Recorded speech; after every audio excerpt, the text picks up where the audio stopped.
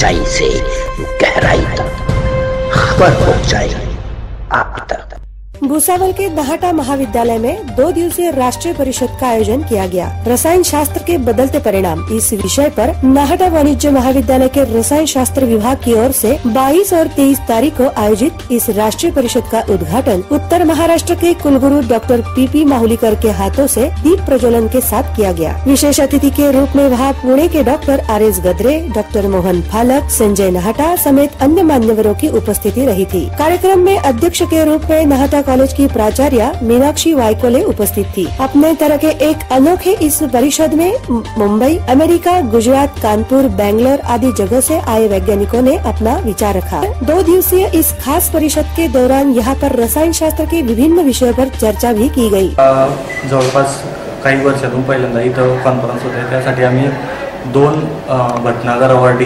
बोलवले ते भारतातलं विज्ञान क्षेत्रातलं सर्वात मोठं प्राईज आहे अशी दोन भटनागर अवॉर्डी आणि एक C R S I bronze medal winner म्हणजे केमिकल रिसर्च सोसायटी ऑफ इंडियाचं ब्रॉन्झ मेडल विनर आहे जे नितीन पाटील आहे सर भोपाटे त्यांना बोलवतात अशा प्रकारचे लोक विद्यापीठ परि परिसरामध्ये पहिल्यांदाच येत आहेत.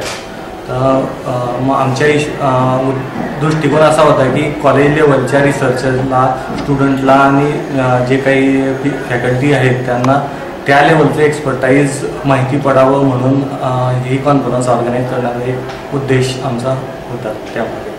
आणि तो काही प्रमाणात आम्हाला असं दिसतं की ते लोक इथं आले त्या प्रमाणात म्हणजे कई प्रमाणात तो सक्सेसफुल झालेला साहब जिसमें छात्र भी सम्मिलित हुए. इस परिषद के आयोजन में महा इस परिषद के आयोजन में महाविद्यालय के उप प्राचार्य doctor S V Patil doctor B H Bharate doctor Goswami समेत कॉलेज के सभी शिक्षकों ने परिश्रम किए। आशा है कि इस तरह की शानदार परिषद का आयोजन आगे भी किया जाएगा।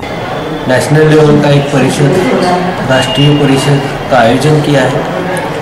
उन्होंने जो परिषद आयोजित किया, उसका थीम है बहुत इंपॉर्टेंट है changing paradigms in chemical sciences chemical sciences एक ऐसा विषय सब्जेक्ट है, जो अपने